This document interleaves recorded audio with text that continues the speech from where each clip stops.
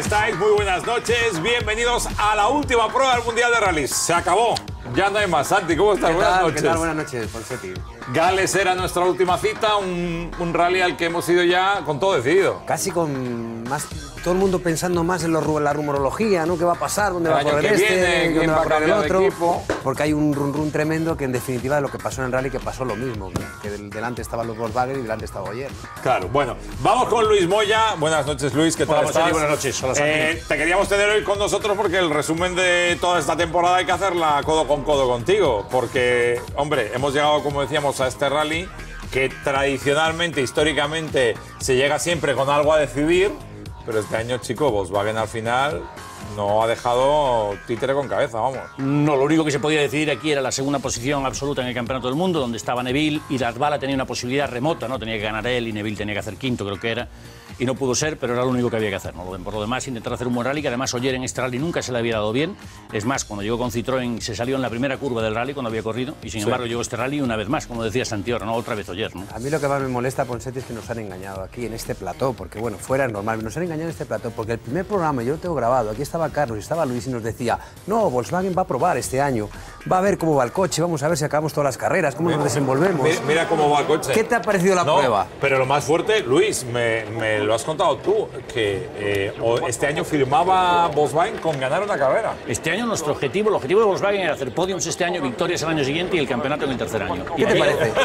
Por eso te digo que nos han engañado vilmente. Y Jos Diez- Capito me decía que él, ahora al final de este rally, no le digo, Jos, vaya temporada que hemos hecho, y me dice, Luis, yo hubiera firmado por ganar una carrera. Bueno, pues ha ganado 10, ha firmado 10 veces. Sí, a 9 Oyer, que le estamos viendo, estas son imágenes de él. Este es un rally muy difícil, ¿eh, Luis? Porque es un rally muy rápido, muy sucio y con unas cunetas muy tramposas. Digamos que lo único bueno es que por lo menos no hubo niebla, ni tampoco llovió torrencialmente. No es habitual que llueva mucho en Inglaterra. Llovió el jueves por la mañana, pero luego durante el rally hubo llovizna algún día, pero no llegó a llover mucho. Lo que pasa es que el rally ya empezaba de noche, difícil. El barrillo, además, siempre, aunque no llueva, hay mucho barro en los tramos. No se pueden cortar los neumáticos, por lo tanto, el grip es limitado. Y bueno, lo veremos en las imágenes. No ha habido unos cuantos accidentes y fuertes, además. ¿eh? Sí, sí, ha habido accidentes feos. Esta imagen, como muy bien apuntaba Santi, que ya es habitual, la de Oyer celebrando y la de encantado con esa victoria, porque como muy bien decía Luis, tradicionalmente no se le daba excesivamente bien, pero aquí ha ido muy bien. Latvala era el único que se le acercaba a algo, pero ni eso. Lasbala corría, además lo dice él, dice que él se encuentra como en casa. Lasbala empezó a correr en Inglaterra, a competir en el Mundial de Rallys con 17 años, que allí se le permitía correr, corrió muchos años, los dos últimos años además fue Lasbala el ganador. Y la verdad que Oyer fue desde el principio líder, pero nunca estuvo cómodo, porque sí es verdad que Lasbala, aún no siendo muy constante, que me decía Yari Mati, Luis, es que no, voy, no lo hago bien, un tramo lo hago bien, otro no lo hago bien, pero la diferencia estuvo estirando entre los 15 y 25 segundos prácticamente durante todo el rally, una distancia que si Oyer hace un trompo, pues se te pone encima, ¿no? Por lo tanto tuvieron que correr hasta el final. Me imagino que estaréis notando que todavía no hemos hablado de Dani Sordo. Vamos a hablar ahora mismo, pero la historia de Dani Sordo es absolutamente brutal. Eh, no de Dani Sordo, sino la de Citroën en este último rally, porque cuando os lo contemos todo, no lo vais ni a creer si no lo habéis seguido, porque a Sordo, para empezar, Luis, cinco minutos de penalización, su coche por un error de Citroën, se equivocaron de chasis. Se equivocaron de chasis, además Citroën lo hizo en un comunicado de prensa, lo hizo público y admitieron su error, pidiendo disculpas. Ellos tú, tú puedes escoger, tienes un número limitado de chasis al año y si quieres coger uno más de los que tienes, tienes que pagar una penalidad. Y entonces ellos se equivocaron de chasis y le pusieron un chasis que no tocaba a él. Y claro, cuando estaba en el rally no se puede cambiar. Y entonces le metieron una penalidad de cinco minutos. ¿no? Con lo tanto, por lo tanto, ya empezar el rally con cinco minutos de penalidad, bien es cierto que Dani no se jugaba nada, pero claro, no es lo mismo salir al rally pensando que te la vas a jugar, que vas a intentar ganar o hacer podium o lo que sea, que con cinco minutos de penalidad sabes que al podium ni te acercas. ¿Y cómo encaja eso un piloto, Luis? Pues difícilmente, ¿no? Dani no estaba contento, lógicamente, pero bueno, hay que entender que, oye, fue un error en este caso, Citroën se equivocó, no se tenía que equivocar, de acuerdo. En este rally veremos que hay copilotos que se equivocaron, hay pilotos que se equivocan, ¿no? Por lo tanto, hay que también perdonar estas cosas, ¿no? Hay veces que no es bueno, no, no debe de suceder, pero puede pasar. Dani Sordo, que le vimos más cómodo a partir de que no estaba Kubica en carrera, qué curioso. Sí es curioso, es una buena pregunta, Santi, porque empezó el rally y ya en la calificación Kubica estaba con los tiempos de sordo, Dani, no sé, de repente vuelve Kubica en el siguiente tramo va Dani y hace un scratch, ¿no? Y luego ya estuvo haciendo los tiempos de los de arriba, ¿no? Porque además Dani hay veces que dice que donde el terreno es deslizante no se encuentra cómodo y yo discrepo de él, él sabe bien lo que dice, pero yo discrepo de él porque yo a Dani le he visto hacer rallies extraordinarios, etapas extraordinarias en pisos muy deslizantes, ¿no? Yo creo que Dani tiene un talento para conducir en cualquier tipo de terreno, no necesariamente tiene que tener grip la carretera. Ahí le estamos viendo con Carlos del Barrio, debido a esa penalización, imaginaros, empezó eh, bueno, más atrás del 40, no, no me acuerdo ahora de Más memoria, del 50, 54, Sí, creo, 57. Muy atrás. Y, y consiguió al final dos scratch y bueno, la verdad es que hizo un rally espectacular si no fuera por esos cinco minutos extras que Y una- metieron. algo positivo en Dani, ¿no? De los pocos en Citroën que nunca choca. Porque Claro. es que este año Citroën ha tenido chapa y pintura para dar y tomar, ¿eh? Esa es la otra cara de este rally, precisamente. Es que Kubica se fue dos veces al hoyo y Irbonen tuvo un accidente que hacía tiempo que yo no veía un accidente de esa magnitud. ¿eh? Ya Sí. lo veréis. Da miedo, Ya lo veréis. da miedo. Da miedo. Pues este es Dani Sordo. Al final, afortunadamente, entraría en el top 10 y se quedaría tan solo tres puntos de Irbonen, quinto en el mundial, a tan Sí. solo tres puntos. Sí, pero más allá de la clasificación, con muchas mejores sensaciones que Irbonen, creo yo. Absolutamente. Sobre todo en la segunda parte del campeonato. Y además se quedó tres puntos detrás corriendo un rally menos. Corriendo Claro, un rally menos, efectivamente, y con este problema de chasis que también le hizo perder muchas posiciones, que habría sumado más en este rally, ¿no?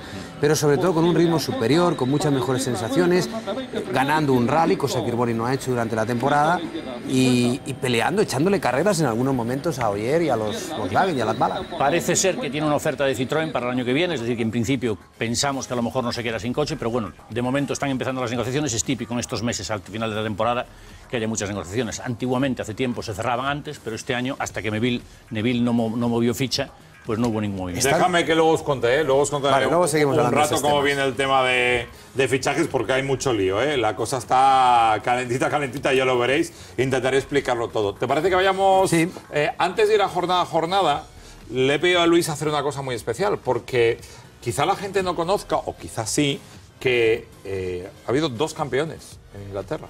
Dos Uno británicos. escocés, dos británicos, Marrae y el inglés inglés que era Richard Barnes. Campeones Y- del mundo, sí. Y los dos con, con historias con un final terrible, Luis. Dramático. Dramático diría que sobre todo el de Colin Murray, un accidente fatal.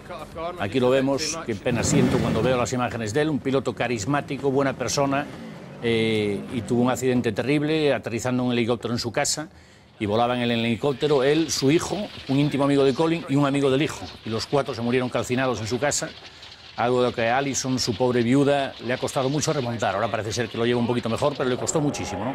Fue una auténtica pena porque era un piloto muy querido y además en Gran Bretaña, ¿no? que hacía falta tener en- él en concreto escocés, que nunca habían tenido un campeón del mundo y tuvieron un campeón escocés y luego otro inglés, ¿no? como era Richard Vance, que también, pero lo de Richard Vance fue diferente. ¿no? Sí, Fue- esas imágenes, perdona Luis, ahora te dejo hablar de Richard Vance, son del 95, ¿eh? cuando se proclamó campeón del mundo en Inglaterra, que fue eh, la bomba, vamos, ese año estaba peleando con vosotros, toda la cosa muy calentita, ¿eh? recuerdo que para vosotros también fue un final de temporada tremenda.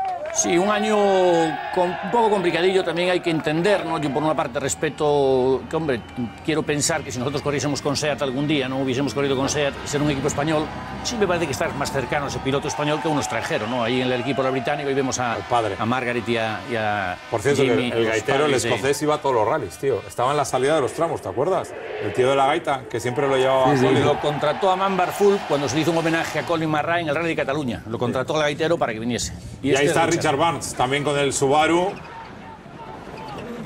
También fue campeón del mundo y lo de Richard es una historia... Estas imágenes son 2001, ¿eh? Con el Subaru.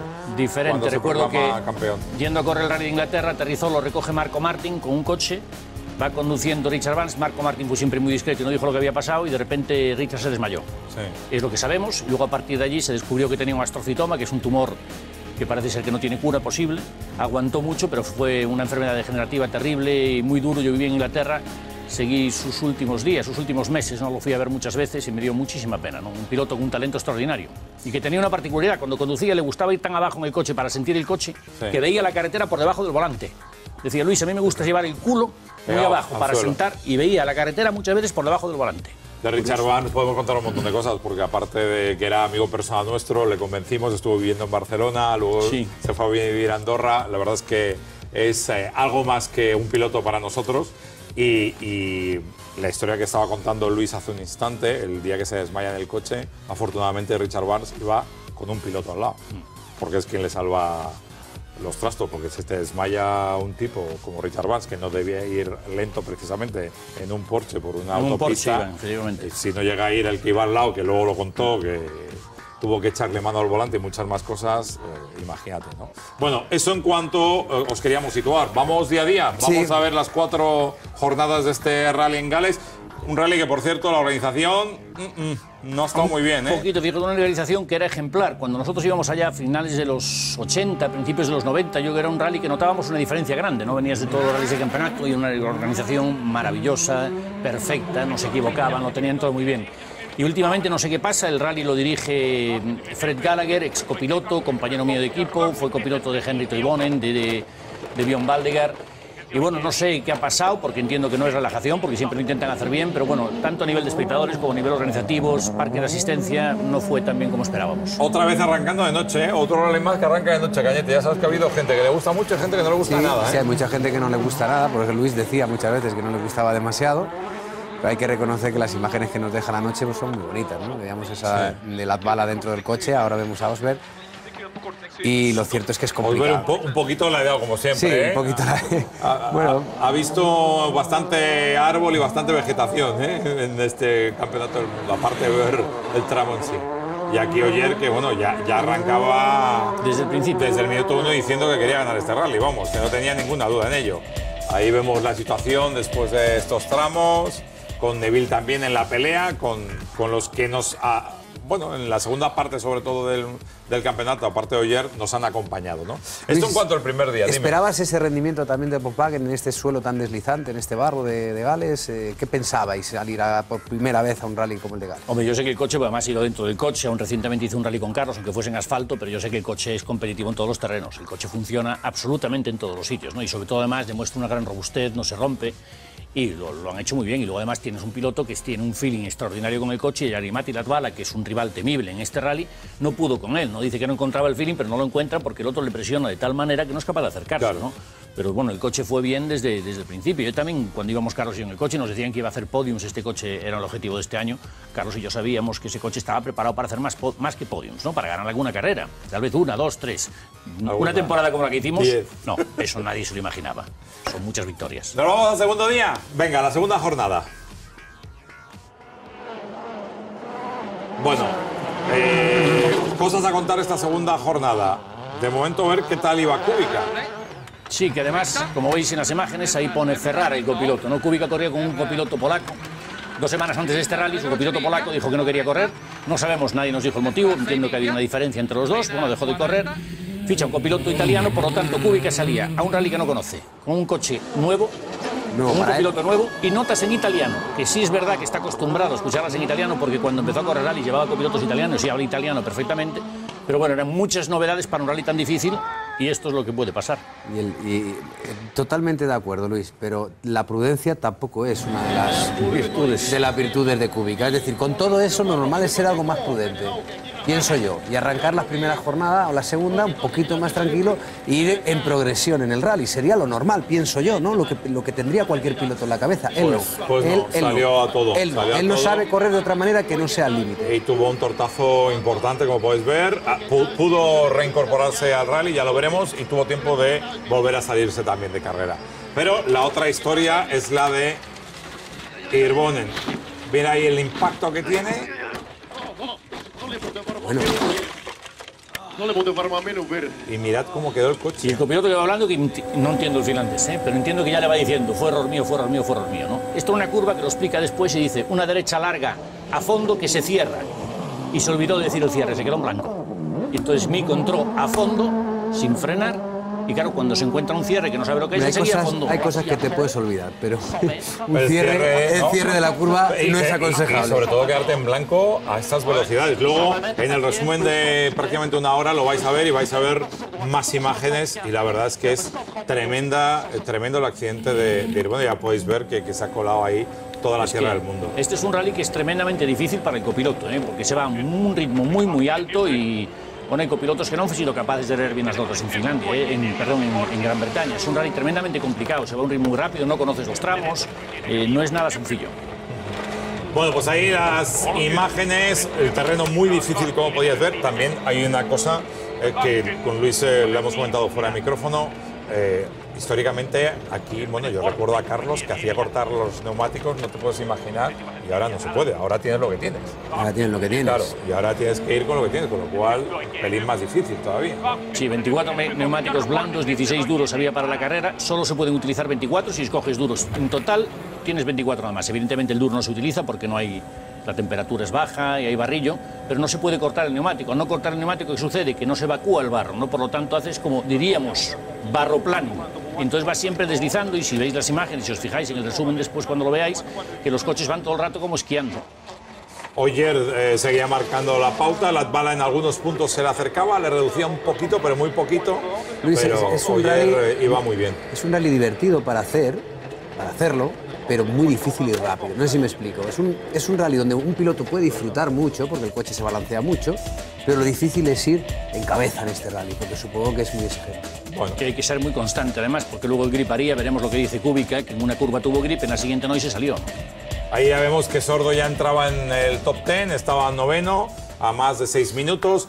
Eh, Sordo quería mejorando, insisto que venía del cincuenta y tantos, eh, fue subiendo y recuperando todo el rally. Nos quedan días todavía porque este rally es largo, es largo y frío.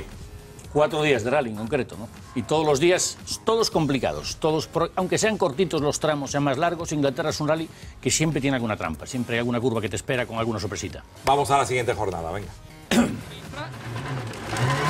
Mira cómo empezaba esto, Santi. destra 5 più corta, 20, dosso 20, destra 6 vai, apre 6 Este es Kubica que había bueno, vuelto a, a carrera, de hecho Super Rally y otra vez salía en esta jornada. Sinistra 3, destra 3, veloce. No sé si escucháis cuando está diciendo el copiloto, le dice 130, me parece, sinistra, Sí. destra, se equivoca, izquierda, derecha, que yo creo que ya era la curva que venía después, pero un piloto cuando vas concentrado al 100% al, al percibir algo diferente ¿no? en el copiloto, pues entonces pierdes la concentración y te puedes salir, ¿no?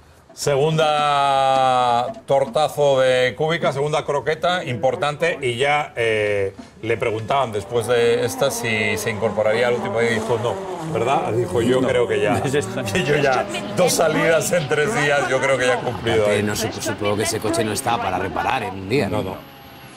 Y Novikov, como siempre, ahí le tenemos.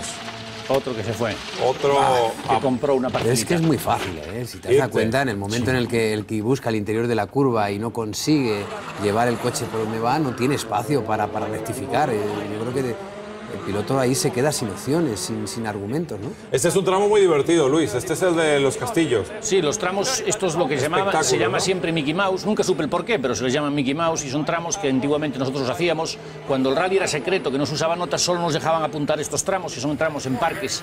Recuerdo hacer uno en el, en el Sherwood Forest, en el bosque de Robin Hood. Sí. Se hacía un tramo, se llamaba Clamber Park. Y son tramos así muy diferentes y un tramos donde el público puede ir y además cobran 25 libras para ir, ¿no? unos 30 y pico euros, así que no es barato. Pero si Históricamente, eh, si no me equivoco, Luis, este fue el primer rally que empezaron a cobrar este y algún nórdico. Sí. A lo mejor, no sé si Finlandia. Yo creo que aquí, yo creo que Sí. fue aquí. Los domingos se corrían este- estos tramos eh, Mickey Mouse, estos tramos en los parques. Y luego a partir de ese día, los primeros años secreto, pero luego los siguientes años ya era con notas. Hombre, no me parece una mala idea por parte de la organización si es que a veces necesita algo de financiación. Pasa que Claro. estás hablando de 25 libras, Es un un dinero. poco caro. Claro, si vas con tu mujer y con dos hijos, pues Claro. son 100 libras. Claro, claro. Es un dinerito. Y aún así estaba. La, la fórmula no me parece mal, el precio ya sí que te lo discuto. Pero bueno. Neville que seguía peleando no solo por el podium, sino muy bien como apuntaba Luis, por eh, conseguir el subcampeonato, confirmarlo. ¿no? Sí, era lo, que había, ¿no? La decisión y además luego se ven las imágenes de dentro del coche, ¿no? La ilusión que le hizo ser segundo, Sí.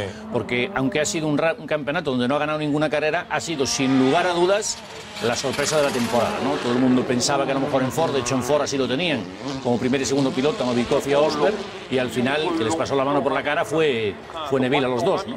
Hizo un campeonato magnífico, una gran persona, y veremos a ver lo que es capaz de hacer con el Hyundai el año que viene. Sí, porque ahí hay que empezar a trabajar de cero y, y sacar eh, el coche hacia adelante. ¿Puede hacer Hyundai algo tan espectacular como lo que ha hecho Volkswagen este año? No lo creo, no porque sea Hyundai y nosotros Volkswagen, pero no lo creo por la sencilla razón de que ellos no han hecho tantos test este año como habíamos hecho nosotros. Ellos han hecho muchas menos pruebas, por lo tanto hay que ser pacientes con lo que hagan el año que viene. Bueno, así estaba el top 5 con Oyer y Latvala peleando por la victoria, más Oyer que otra cosa. Y ya Dani Sordo, que subía hasta la séptima posición, posición que por cierto ya no abandonaría, ya sería la posición con la que terminaría el rally. Eh, nos queda todavía Una jornada. jornada. Nos queda el último. Vamos a ver cómo precisamente termina este rally, cómo gana Oyer. Y también otra sorpresita de Mikkelsen, ¿eh, Luis? Sí, Mikkelsen en este rally tenía un objetivo, bueno, no, ningún objetivo, ¿no? pero en el equipo le dijeron, oye, ya se lo habían dicho en el rally anterior, corre lo que quieras, haz lo que te apetezca, aquí no te pedimos nada, pero mira, esto fue un trompo que hizo que me decía luego Andreas después del rally, me dice, Luis, entré a fondo en una curva que ya sé que no es a fondo. hizo un trompo y le vino Dios a ver, no dañó el coche, pudo continuar, perdió creo que fueron 15 o 16 segundos. Y bueno, hizo un rally donde hizo un par de scratch, cometió algunos errores, pero bueno, ha enseñado algo más de lo que había enseñado a lo largo de la temporada. ¿no? Se liberó un poquito también Sí. de la presión de Volkswagen. Estuvo peleando con Newville hasta esta última jornada, hasta, este, hasta ese incidente, ¿no? Sí. Por la tercera posición, por una posición en el podio. A mí me parece un rally muy espectacular, insisto. Siempre Inglaterra me ha parecido especial, sobre todo por, por el valor que hay que echarle en estos tramos, porque es que hay que ir a fondo y mira lo que se mueve el coche. ¿eh? O sea, poca broma. ¿eh? De eso hablaba Matt Sosberg. También, también salvó. Neville, míralo, mi- mira la que Sí. salvó aquí. Aquí salvó su campeonato. Aquí le iba a su campeonato. Y lo salvó. Esto le debe parecer una autopista, ¿no? Cuando sales del barro ese tan estrecho y ves algo de asfalto, debe Claro. parecer una autopista de cuatro carriles. Una Totalmente, tranquilidad vamos. porque por lo menos ahí sabes que el grip es más o menos constante, ¿no? Esto es un tramo de mi parece que tenía 3 kilómetros, una cosa así, un tramo muy cortito, cerca de la costa, como vemos, que ahí estaba Landudno. Mira la alegría de rally. siendo subcampeón del mundo. Y la alegría de la familia El y todo. primero, Claro. el primero de los mortales, ¿no? Claro. El primero del resto del planeta. Y la bala que terminaría el día, pues como empezó el rally, sin el feeling, con un medio susto. Bueno, pero eh, probablemente si no estuviera Oyer, Latvala hubiera ganado el rally, hubiera salido el coche con- diciendo que tiene un gran feeling, que le va fenomenal, que se adapta fenomenal, etcétera, etcétera. El problema es que tiene un piloto que va más rápido que él. Y entonces nunca se encuentra lo suficientemente cómodo. Y el problema no es él, es probablemente Oyer, Oyer. Pues le queda un rato de problema. Sí, sí, claro. Es que ahora mismo es difícil ver quién puede ser capaz de ganar, ¿no? Tal como está esta temporada. Bueno, ahora hemos terminado la temporada, la próxima empieza enseguida, ¿eh? porque a finales de Monte Carlo, de perdón, de enero estamos en Monte Carlo, por lo tanto no hay mucho tiempo de relax tampoco. Y bueno, veremos a ver el año que viene, ¿no? Pero desde luego Sebastián Oyer es espectacular. Repasamos todas las clasificaciones, la victoria y el podium y la celebración de Oyer, que insisto, este año está acostumbrado porque lleva nueve, ni más ni menos, que se dice rápido. Y a partir de ahí, ¿cómo ha terminado este rally? Ese es el top 5, Oyer, Latvala, Neville en los tres primeros y ahí Dani Sordo, que terminaría séptimo. Así ha terminado el Mundial, quinto Sordo, primero Oyer, Neville, Latvala y Irbonen. Y en marcas, bueno, Volkswagen arrasado, segundo Citroën. Muchas más cosas que contar. Muchas más cosas que contar. Yo le quiero hacer una pregunta a Luis, que me cuente quién es Jordi Ribau. Pues es un chico catalán, joven, que tenemos en el equipo, un ingeniero, que trabaja con nosotros. Tenemos dos españoles en el equipo trabajando. Está él y está Óscar. Óscar es madrileño, él es catalán. Y trabajan en el equipo, son ingenieros que van a los test, van a las pruebas. No estuvieron en el Rally de España, pero ahora, por ejemplo, Jordi sí estuvo en el Rally de, Inglaterra, ¿no? Muy bien, pues Fernando Alves ha estado con él, con Jordi Ribau, y nos ha abierto las puertas del equipo campeón de marcas esta temporada, el equipo Volkswagen.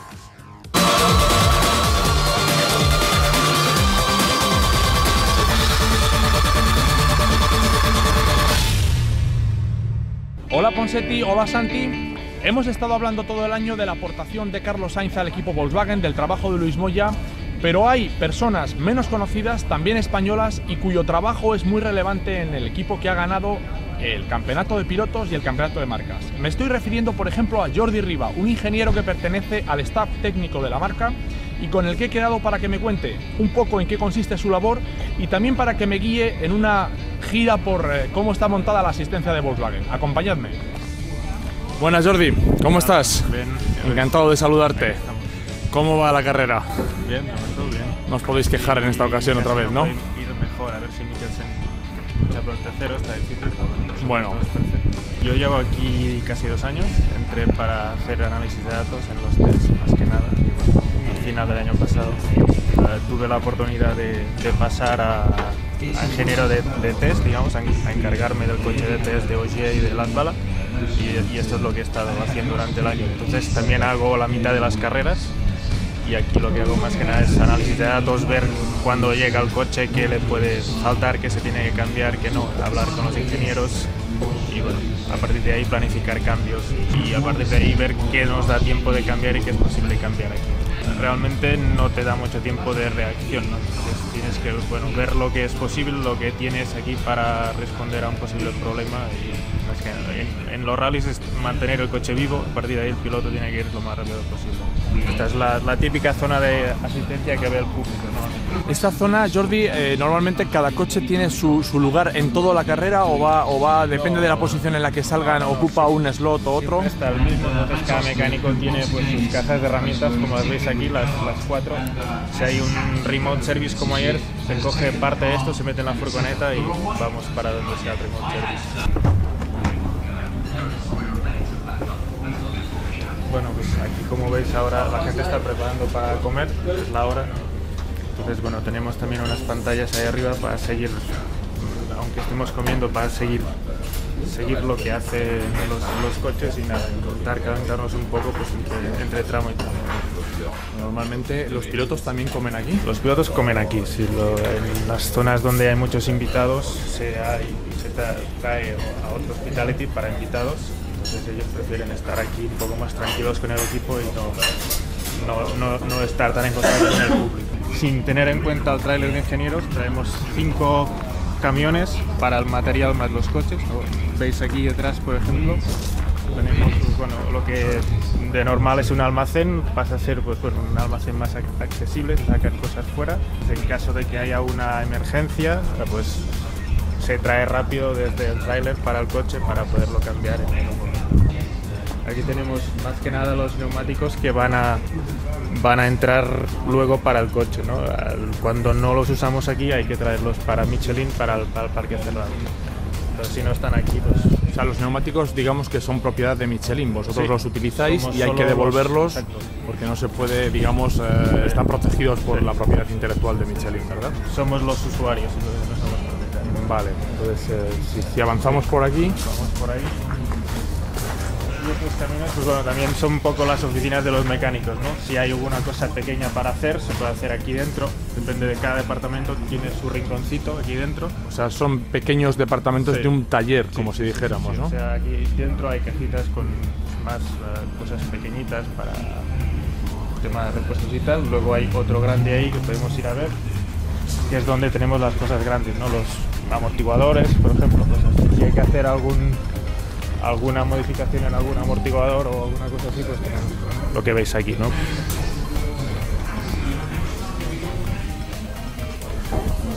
Aquí es lo que, lo que veis, ¿no? Tenemos, estamos todos los ingenieros, team management, los meteorólogos ahí. Y pues bueno, ahora por ejemplo el ingeniero de OGE está hablando con él para preparar cosas para el siguiente tramo, cambios quizá de amortiguadores y tal. Normalmente, Jordi, ¿cuántos ingenieros trabajáis en carrera en el equipo?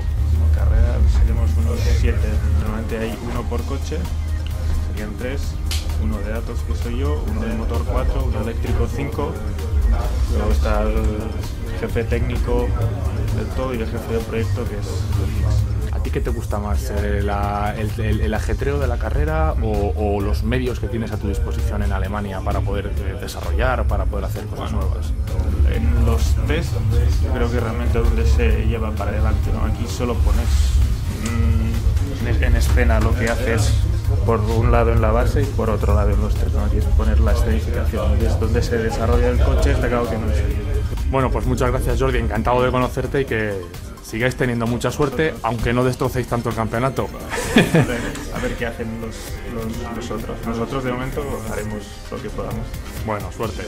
Gracias. Gracias, hasta luego. Bueno, pues ese es el blog de Fernando Alves. Por cierto, una curiosidad, no sé si os habéis fijado, le ha llamado la atención a Santi y a lo mejor en casa también, en el coche de Mikkelsen. Sí, no La tenía, decoración. no tenía una decoración habitual, ¿no? Mira, es que, ¿cu- ¿cómo son, Luis? ¿Cuántas? ¿4.000 fotografías? Pues sí, se pidió en Volkswagen, en la página web de Volkswagen, se pidió que quisiesen los aficionados, los seguidores, que mandasen su foto y se le pondría en un coche, en el coche de Mikkelsen en concreto. Y entonces empezaron a pegar fotos en el coche, lo que pasa que, bueno, tuvimos como 4.000, creo que en el coche había 2.000 y pico fotos. Y es más, se acercaron aficionados a preguntar, ¿puedo ver a ver si encuentro mi foto? Con la cantidad de fotos que nos hacemos aquí en el plato, que mandamos a Twitter, podemos haber mandado uno también aquí. Pues es una manera de correr un Ya- rally ya- mundial. y haber corrido ¿no? este rally nosotros. pegado ahí y... No, no, pero nosotros tenemos que ir en el de Olier, ¿eh? que se quede. No, por menos, bueno, tú tienes No, no. mano en eso. Si tú Sí, quieres, sí, sí. nos pones ahí como un papá sin no que, corras. sin que se den cuenta un día, llevo una fotito nuestra y la pego, ya, pero a lo mejor no se dan cuenta. Seguro que llega alguien de marketing y dice, ¿y eso? Porque enseguida lo ven. Bueno, lo que, lo que viene ahora, Santi, es el lío. El, el lío es qué pasa en el, el Mundial del año que viene, porque de momento Neville confirmado, se marcha a Hyundai, ¿vale? Esta era la pieza clave. Pero y a partir de ahí, bueno, parece ser que Irbonen y, y Ford, si no está hecho, casi casi. Mira, el Hyundai. Claro, este es el coche de Neville. Hyundai, ojo, porque Sordo tiene dos opciones. Hyundai o eh, quedarse en Citroën. Pero en las dos, la negociación está así así. Está así así porque parece ser que lo que le ofrecen a, a Dani, y no hablo de dinero, sino hablo de carreras, no es lo que Dani quiere. Entiendo yo, por ¿En la cuál- información en que cuál- me dan, a cuál de las dos marcas te claro, refieres? a las dos marcas, que le están dando no toda la temporada completa, sino que le deben estar dando un trozo de temporada. Entiendo yo. Eso es una opinión mía por la información que a mí me A ver si nos lo cuenta Dani la próxima semana. A ver si la programa. semana que viene, que tendremos programa, por cierto, que será el último programa resumen, eh, nos lo cuenta. Por tanto, muy pendientes de Dani Sordo. Digamos que Irbonen está en Ford, que Neville está en Hyundai. Hyundai. ¿Qué pasa con Citroën? Bueno, Citroën ya lo han... Bueno, la idea de ellos es apostar por Cúbica. Os recomiendo que mañana os leáis porque va a quedar publicada una entrevista en autopista.es sobre Cúbica. Pero ¿cuál es el problema de Cúbica? Que no tiene claro si seguir o no en el Mundial de Rallys. Ojo con esto, porque entonces la apuesta de Citroën queda desbaratada. Porque Citroën entiendo que dice, bueno, no tengo a lo mejor el coche más ideal para ganar, pero tengo a Cúbica ahí y ya un con tío eso, mediático. claro, ya hago medios. Eso puede cambiar totalmente. Y Kubica, si no hace el Mundial de Rallys, ¿qué es lo que quiere hacer? Pues esa es la gran incógnita. No lo sé, porque además parece ser que en la Fórmula 1 no se le ve por esa limitación que tiene, está un Claro. poco incapacitado. No mucho, pero sí está incapacitado. De hecho, es el único coche que lleva el cambio en el volante. Y lo de Kubica no se sabe, tampoco se sabe lo que va a hacer Osberg, no se sabe lo que va a hacer Novikov. No. se sabe si Qatar va a seguir o no con el equipo Ford, porque, hay- Porque para- los rumores dicen que la tía está teniendo problemas. Que- Problemas de dinero ahí. Yo no sé si es a la tilla o es Qatar, eh, pero parece ser que el dinero no está llegando a Ford como era previsto, incluso al proyecto que tiene en el, en el Dakar, pero no creo que sea yo el problema de la tilla. La tilla no sé qué pone dinero, la tilla es un, me imagino que un intermediario entre el gobierno de Qatar y M Sport, pero en cualquier caso, que no hay nada decidido todavía, por lo tanto estamos en unas semanas de muchas incógnitas. Es decir, decidido está Newville, que va a correr en Hyundai. ¿Vale? Y no, el equipo no sabemos quién va a ser su compañero. No sabemos qué va a ser su compañero. El equipo Volkswagen al completo, los tres coches. ¿Cómo Los tres están? coches, Con. Oyer, Latvala y, ¿Y Mikkelsen. Mikkelsen? Y el equipo Citroën y Ford, absolutamente una incógnita. De No, no. Ford, Ford casi seguro Irbonen Girbonen. y Citroën. Y yo una incógnita creo, total. creo, no se me huele, estuve hablando con Windaf Evans, no me contó nada, yo tampoco le pregunté, pero que su hijo Elfin Evans, que hizo una temporada bastante buena en WRC2, que Podría pueda ser uno de los candidatos a estar allí. Pero claro, es un piloto que necesita por lo menos un año más de adaptación. Es el primer año que ha corrido, lo ha hecho bien y no se le puede poner, cargar sobre sus hombros la responsabilidad de llevar un equipo del Mundial. ¿no? Por lo tanto, tendría que ser como un segundo, incluso tercer piloto ¿no? en Ford. Pero veremos a ver si llega o no llega. Eh, una cosa que os quede clara a todos, hay otra película y es la película de los pilotos que llegan con dinero. Teníamos un invitado aquí en el último programa, el mexicano, que eh, él trae sus sponsors y por tanto va a tener el coche que él decida. Luego- Estaba entre Citroën y Ford. pero Luego hay otro tema. Eh, Citroën, Volkswagen son marcas oficiales, mientras que Ford es un coche, eh, lógicamente, de alquiler. Claro. Hay que pagar por estar en Ford, ¿no? Hombre, lo es que- muy lo- distinto lo que al equipo Volkswagen con Wilson es tener una marca detrás, pero eso está difícil. Sí, estuve el mismo. otro día hablando con Malcolm cuando llegué al rally, fui a hablar con él, porque tengo mucha amistad con él, y fui, estuve charlando un buen rato con él. Lo vi un poquito preocupado, lo conozco mucho y estaba un poco preocupado. Pero él sí es verdad, también es cierto, él me decía, Luis, yo lo que necesitaría sería una marca. Necesitaría tener una marca, ¿no? Voy a poner un ejemplo, Suzuki, imaginaros que va al Mundial, me lo invento, ¿eh? Pues tener una marca. No tenemos contactos. Y- Me encantaría. Y entonces tengo buenos también contactos. se ahí. habla y el rumor out. Cobra cada vez más fuerza, pero no hay nadie que lo confirme, que Toyota puede volver. ¿no? Me encantaría volver a ver a Toyota en el Mundial de Rallys, pero, bueno, Toyota- Malcolm Toyota tiene en Alemania toda la eso sucede y no lo sabemos. Y bueno, lo que sí tiene Malcolm es mucho trabajo, eso seguro, porque tiene que hacer los R5, que se comprometió a hacer, me parece que son 100, creo que este año ha vendido 30 y pico, por lo tanto ahí tiene unos buenos ingresos. Y Malcolm, como bien explicaba Santi, no es un constructor, no es una marca, por lo tanto Malcolm Wilson depende del dinero que ingresa por los Claro. alquileres o ventas de vehículos, no de coches. Muy bien. Bueno, recta final de esta primera parte. Eh, queríamos recordar lo importante que ha sido eh, el Rally de Inglaterra durante muchos años y donde la gente se ha estado jugando el título de Mundial, porque eh, históricamente, como os decía al principio, como arrancamos este programa, ahí se la jugaban muchos. Vamos a ver un montón de imágenes, nos va a ayudar Luis a ir explicando y comentando. Empezamos con el 95, ¿no? Ese año que antes veíamos con las imágenes de Colin, que se la jugaba contigo, con vosotros, perdón. Oye, pues Eti, ¿no podíais haber empezado por el 90-92 que ganamos nosotros? Es ¿O- que ahí ya la tenía Esas ganada. las tenemos en Cinexin. Claro. Estas las tenemos. Esto, esto es un Subaru un grupo A. Sí, esto sí, esto es el 95 cuando Colin se proclamó campeón del mundo. Ahí estamos nosotros, esto es como el Corolla, ya esto es otro año, debe ser el 98. Ese este es el año que tanto 98. os gusta recordar en la televisión. Hoy lo veremos, el resumen especial de ese año. Se trata Ahí de vemos a. McKinnon cuando se rompe la rueda. Y a partir de aquí os pone a vosotros, a priori, en bandeja. El campeonato lo teníamos casi listo. Fíjate que íbamos corriendo, que ya habíamos roto el cristal y el alerón, y no llevábamos ni alerón tras el coche ni lo poníamos. La famosa frase de Luis Moya. Sí, que no me la recuerdan casi nunca, Ponsetti. Ya me imagino, pues ¿Cuál, hoy. cuál fue la avería que tuvo el coche? Eh, una biela. Salió por el bloque el motor, un agujero grande y se acabó. Y ahí está McKinnon festejando.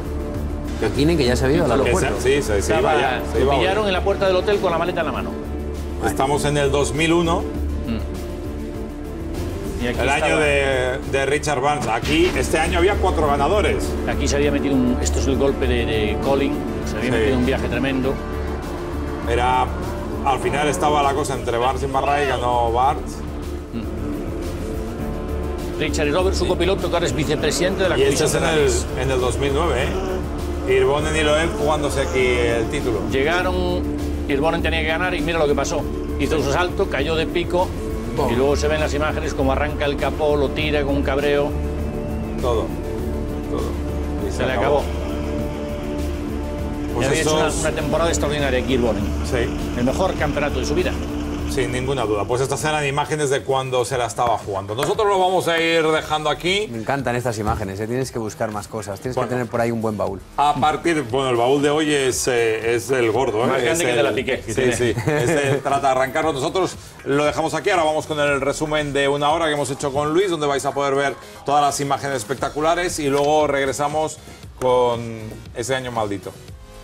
Casi nada. Bueno, Ponsetti, pues muchas gracias. Y No, no, no te vayas, que tenemos que ir a No, por el año maldito. La próxima, no, no, y la próxima semana más, además. Ah, muy bien, eso sí, aquí estaremos.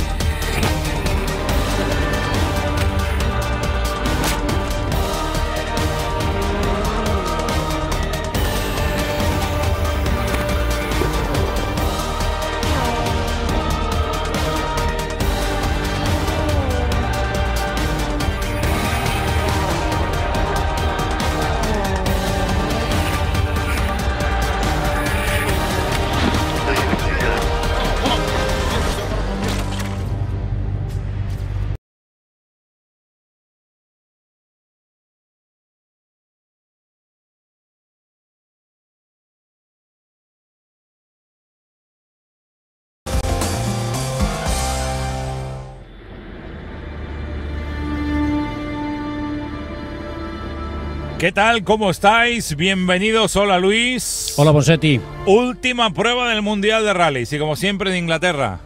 Inglaterra y un poquito cambiado. Esta vez íbamos a la salida, era eh, cerquita de Chester y después de 12 años que se había celebrado en Cardiff decidieron ir a otra parte. Muchos tramos volvían a ser más o menos los mismos, pero un poco más al norte que, que estos últimos años.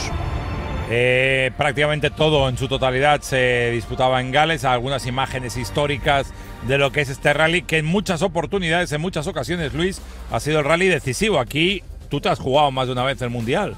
Nos lo hemos jugado, lo ganamos además en el año 90 cuando ganamos el campeonato aquí, también perdimos otro campeonato eh, con el Subaru y bueno, un campeonato que estaba todo decidido, prácticamente todo decidido, menos la segunda posición del Mundial, la Bala todavía tenía posibilidades, pero bueno, en el Bill volvió a hacer un buen rally y terminó segundo del campeonato. Yo recuerdo una de esas frases históricas tuyas también, aparte del trata de arrancarlo, fue una frase de Carlos en este caso que fue la cagamos Luis y tú le dijiste no la cagamos, dale. Dale, pero y realmente la habíais cagado. y realmente la habíamos cagado. Nos quedamos bailando en una cuneta, pero no pudimos continuar. Eh, y así son las cosas. Aquí estamos en Gales, que es exactamente, concretamente, donde se disputa este rally. Es la última, como decíamos, prueba de este año del Mundial, con todo decidido. Todo, estaba todo el pescado vendido, tanto a nivel de pilotos. Aquí vemos en las imágenes ya teníamos una ventaja grande y volvió a ganar otra vez ayer. Y en el campeonato de constructores también, también estaba decidido el campeonato, ya en la prueba anterior, el campeonato de constructores se decidió en Cataluña. El, por de pilotos ya venía de un rally antes. Y aquí vemos el de constructores. Totalmente orientativo, porque como os decía, estaba todo hecho y todo decidido. Bueno, muchas dudas y muchos protagonistas. Uno de ellos, este hombre. Kubica, que además estrenaba copiloto. Su copiloto parece ser 15 días antes del rally dijo que no quería correr. Y aquí, como vemos en las imágenes, corría con Ferrara, un copiloto italiano. Que había corrido con Gruñola, un piloto joven.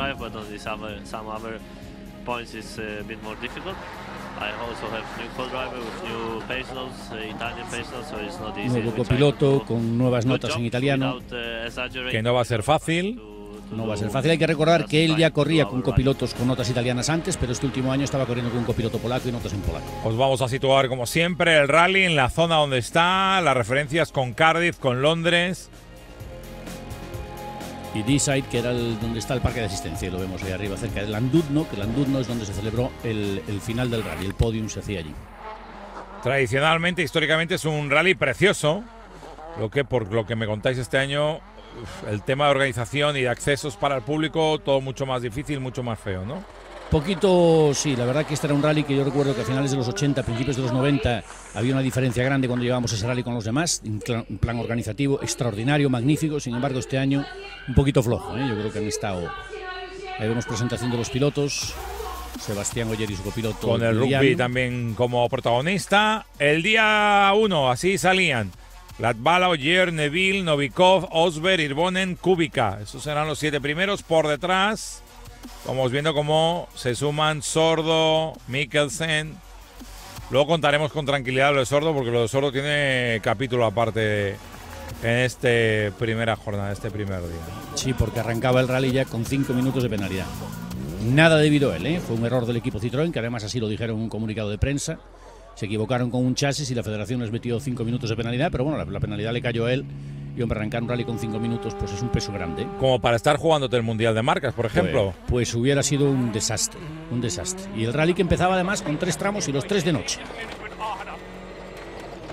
Este año sabéis que la noche ha vuelto con intensidad a los rallies. Estamos en el coche de Latvala y mm, no ha sido, eh, no sé, de alegría de todo el mundo, ¿no? Esto de la noche, al final ha habido pros y contras con las noches en los rallies. Un poco de todo. Hay gente que está un poco en contra de la noche por una cuestión de seguridad, porque es verdad que si en la noche hay un accidente los helicópteros no pueden volar, entonces es más complicado. Por otra parte, se intenta volver un poco a lo que era antiguamente. También es verdad que en Inglaterra anochece muy pronto y por lo tanto ha vemos a sido Osberg salvándola de milagro. Osberg, como siempre, dándonos un recital para las imágenes que a nosotros nos gustan. Neville, que por cierto, gran subcampeonato, ¿eh? lo comentaremos aparte, pero gran temporada de este chico. Y a ver qué pasa el año que viene, porque ya oficialmente se va a otro equipo oficial de Jafor. Y entra Hyundai. con Hyundai, ya lo, lo anunciábamos en el Rally de. Cataluña, que parecía ser que teníamos, por lo que nos había Dicho. dicho que parecía que ya estaba en Hyundai y ahora ya es oficial, ¿no? Ha firmado por el equipo Hyundai que entra el año que viene, de lo cual nos alegramos todos. Siempre equipos buenos es bueno que vengan nuevos constructores. 4, 5, 6, primera pasada, 7, 8, 9, segunda pasada. Repetíamos tramos, dos pasadas por cada uno de ellos. Eh, hay dos tramos de 32 kilómetros y uno cortito, el de en medio. El del medio, que es una parte de uno de esos largos, eh, de- en concreto de este que vemos ahora de Hafren, Sí. se llama Sweetland y es una- un tramo que es como una especie de Mickey Mouse, un espectáculo en el medio del bosque. Es un tramo que tiene, digamos, ratonerillo más o menos, con algunos pasos de agua, con algún salto, y es una zona donde para el público está muy bien y es lo que se intenta hacer, ¿no? Un poco de, de espectáculo, buscar más espectáculo en ese tramo. Y carreteras típicas, como vemos en las imágenes de Inglaterra, que siempre son delicadas y luego hay que tener mucho cuidado. Las cunetas suelen ser muy profundas y hay muchas veces que con caerte al borde de una cuneta, lo decías tú antes, Ponsetti, con Sí. el famoso la cagamos Luis, pues ahí nos caímos en una cuneta en el borde, son cunetas pronunciadas y te puedes quedar atascado y no poder salir. O sea, que era un, es un rally en donde tu nota de no cortar eh, aparecía bastante, ¿no? Hay que meterse, pero lo justito.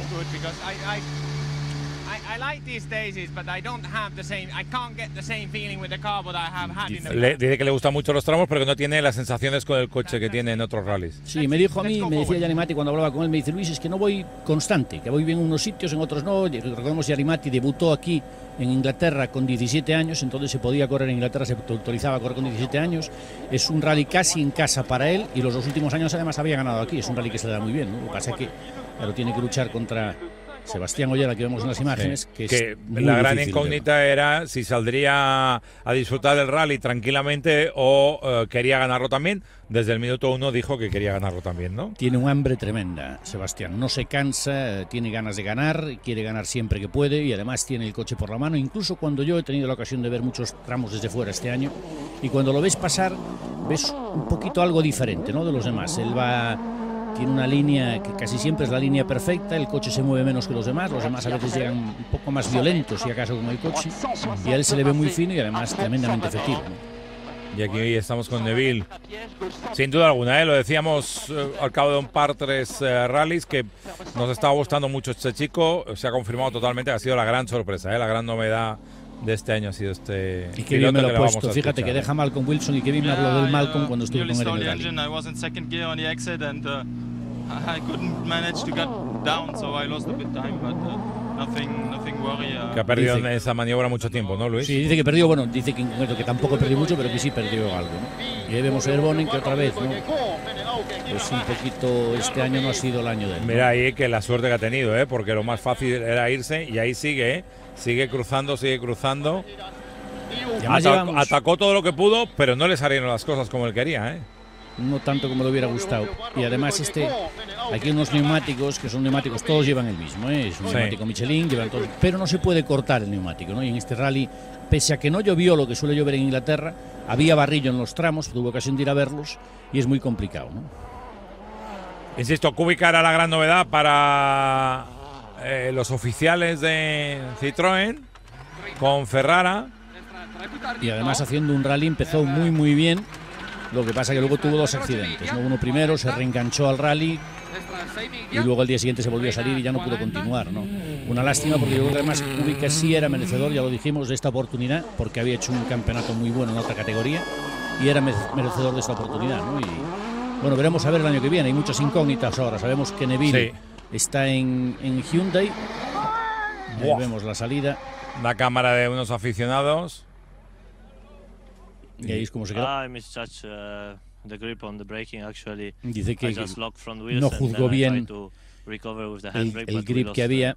The road was ended and uh, it was quite steep. And Vamos, que se fue. se le resbaló claramente y se fue. uh, I was not really pushing and patinó más de lo que él esperaba- lo que él out pensaba.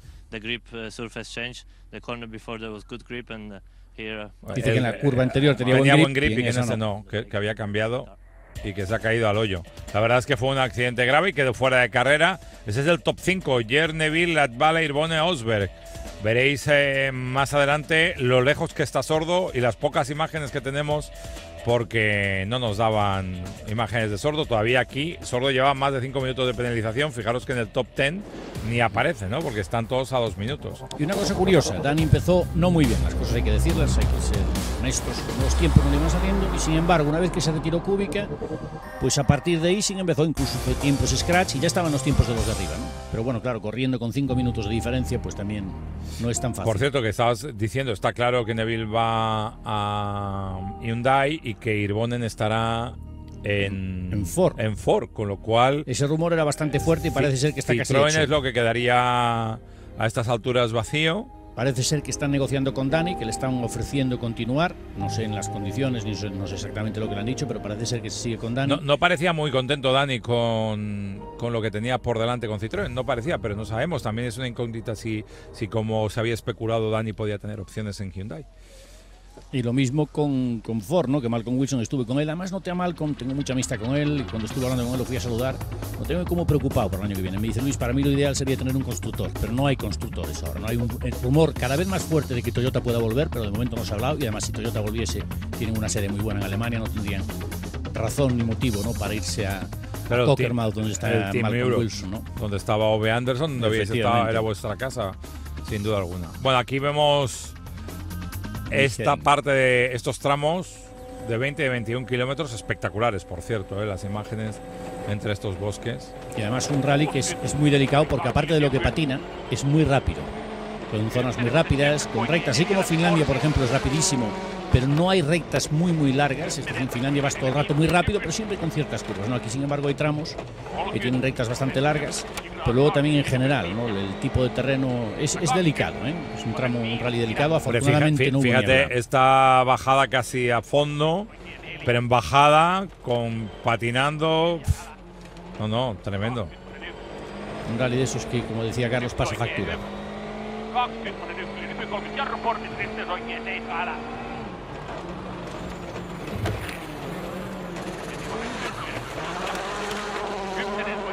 Y aunque aquí no lo vemos, no vemos muchos espectadores en esas zonas en concreto, pero sí los tramos que tuve ocasión de ir a ver había mucho público, ¿eh? mucho, muchos más. En uno de ellos tuvimos que caminar 6 kilómetros para llegar al tramo, porque estaba la calle, el tramo, el tramo de acceso bloqueado y tuvimos que caminar 6 kilómetros.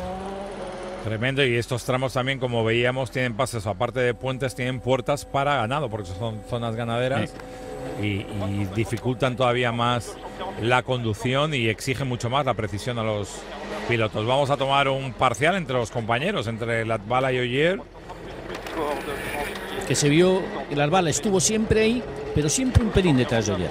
No fue capaz de estar con él. ¿no? Oyer se escapó, luego el Arbala se ganaba algún tramo, pero siempre el que tenía una diferencia un poco más grande sobre él. ¿Mikkelsen tenía opciones de correr todo lo que quería o no? Tenía Sí, a de- Mikkelsen se le dijo que en este rally que corriese lo que quisiese. Además, es un rally que no lo conoce tanto como ellos, no tiene la experiencia de ellos, pero sí lo conoce bastante. Y hablando con Mico Márcula, con su copiloto, me decía Mico que había intentado cambiar un poquito el estilo de conducir en este rally. Y bueno, la verdad es que le fue bien porque no empezó con mucho feeling. Hablando con Andrés, me decía Luis, de momento no he encontrado el feeling, pero sin embargo, poco después sí lo encontró. Y de hecho se puso a hacer scratch, ¿no? Era el piloto más rápido de todos los que había ahí, ¿no? Por lo tanto, es verdad que tiene algo, pero le falta ser más constante, ¿no? Las diferencias ahí veíamos dos décimas, prácticamente nada entre los dos Volkswagen, los dos de arriba. Y vamos a ver ahora referencias con Neville contra Ogier, que era el hombre más rápido, dos décimas más rápido que Latvala. Y Neville, que estaba en este rally, no así Nasser Latilla, compañero de equipo. Y bueno, hay unos rumores por ahí de que parece ser que no estaban las cosas muy bien entre Nasser Nasser. eh, Dicen que tiene, no sé si es verdad o no, pero que aparentemente tiene problemas económicos, ¿no? Que no, no pues termina eso es lo que se estar el- rumorea en el Mundial de Rallys. Parece ser que no llega muy mucho el dinero de Qatar. No quiero decir con esto que sea él, porque él Ya, evidentemente... ya solo falta que los de Qatar no tengan dinero. Sí, pero bueno, no sé si a lo mejor, no sé qué habrá pasado en Qatar, pero parece ser que claro, Nasser es un poco la imagen, él es el que llevó el sponsor al equipo, pero parece ser que hay algunos problemas. De todas formas, el motivo por el que él dice que no estaba aquí es porque a raíz del accidente tan fuerte que tuvo en el rally de, de España, que Sí, tenía en una Cataluña. mano, no estaba en condiciones Sí. y entonces no fue, pero bueno. Dos segundos, ¿eh? Ojo a las diferencias que son ya muy distintas entre los dos Volkswagen o entre el Ford de Neville y precisamente los dos de, de arriba, en este caso Oyer. Ahí vemos los tiempos. y las diferencias. Y lo que sí se ve es que el, el, el Ford, mira, yo lo hablaba esto con Neville en el Rally de Cataluña y después pilotos, incluso Dani Sordo cuando se subió en Argentina con ese coche. Toda la gente suele decir que el coche es muy blando. Y ese coche es muy blando y donde suele ir bien es, por ejemplo, en rallies como este, ¿no? donde patina mucho al ser muy blando, pues todavía se defiende un poco más. Luego en los rallies donde hay más grip, por ejemplo, el asfalto le cuesta más. Vemos a Nico, Otra de las de Irbonen. que además fue muy fuerte, ya lo estamos viendo en las imágenes, y además no pudo continuar, porque así como Kubica se retiró un día y pudo continuar, él no podía reparar el coche. Fue un, Fue un, un buen golpe batacazo, tremendo, ¿eh? Terrible. Unfortunately, you know, uh, Jarmo made a small mistake this time and had a Jarmo se equivocó. right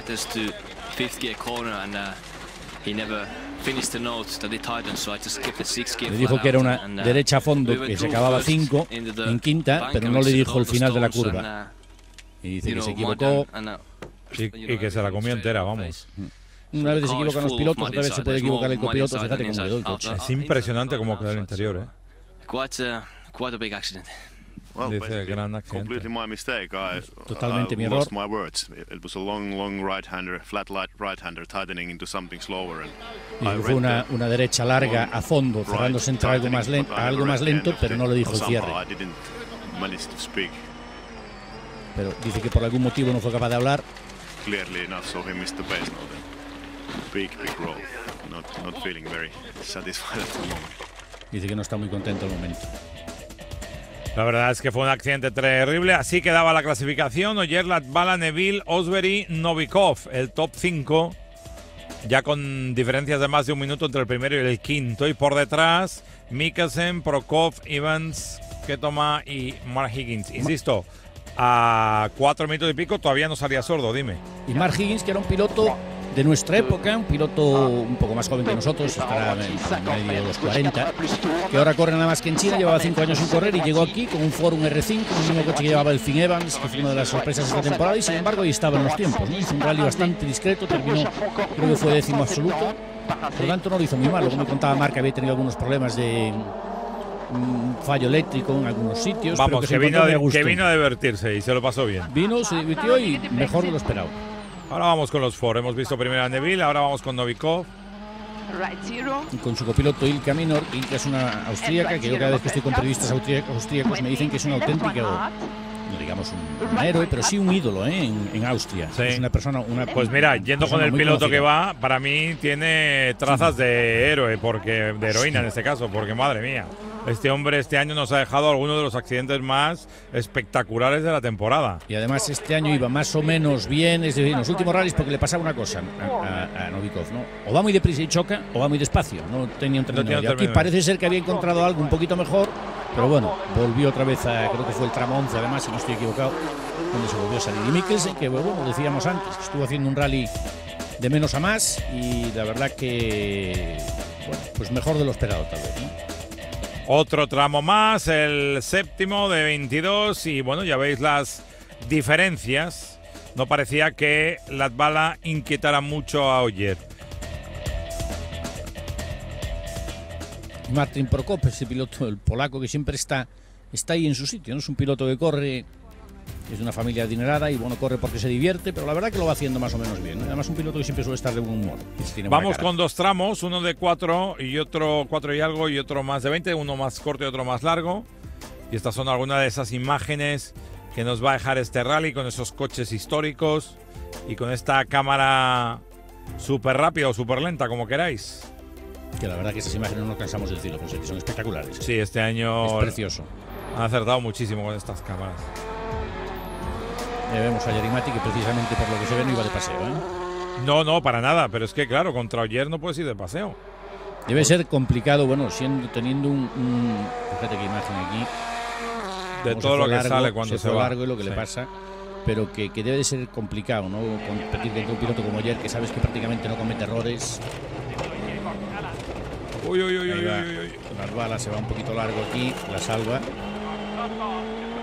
Ha tenido suerte en esa zona no había nada con que tocar, un árbol o algo. Ni una no- cuneta profunda como Claro. le pasó a Kubica, por ejemplo, que se fue para abajo, o un árbol cerquita. I came off far too fast. In a, I, I was thinking one left-hander that I can go a, a lot quicker. It was very, very slippy, and we nearly had a big crash. ha ido demasiado rápido. pensaba que- Avoid it, but with the speed completely stopped, and then you had a 200, 300 meters Dice que con, que at con least esa we lost five derrapada que on metió, que paró Claro. mucho el coche y que luego tenía una get, uh, aceleración larga, por lo tanto se quedó sin velocidad y que perdió bastante tiempo. that back because you know you lost what you have tried to gain.